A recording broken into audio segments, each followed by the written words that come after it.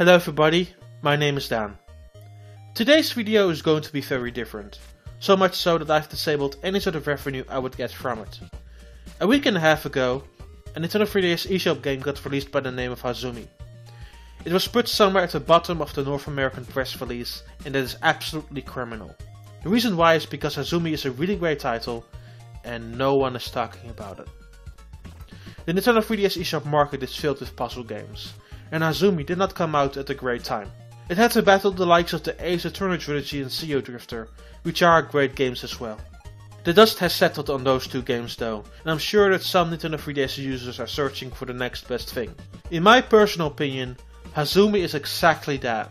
The game is a fantastic mix between a brick breaker and a puzzle game. It marries elements of both into something awesome, and the game kept me engaged for over 100 plus levels.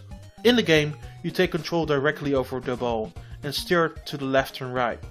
Your goal is to destroy all the blocks in the level, but there's more to it than that.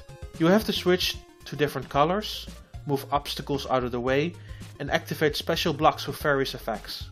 The only knock against the game is that it's a very challenging one. You can scream with frustration sometimes and therefore it is more meant for the experienced player later on. Hazumi looks quite sharp as well. It has a pixelated style to it that pops on your Nintendo 3DS screens. And the music? That is pretty good too. The game is highly replayable thanks to its star system, which rewards you as you break blocks in quick succession in the stage. Next to the regular stages, there's also a level editor to screw around with, and you can go as crazy as you would want. In speaking to the developer, I've learned that the game is not selling well at all, and that is a big shame.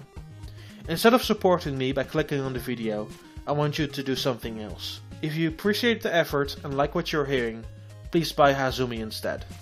With a delayed European launch, Hazumi is not expecting to pick up Steam anytime soon.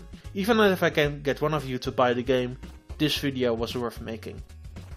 Thank you for listening today.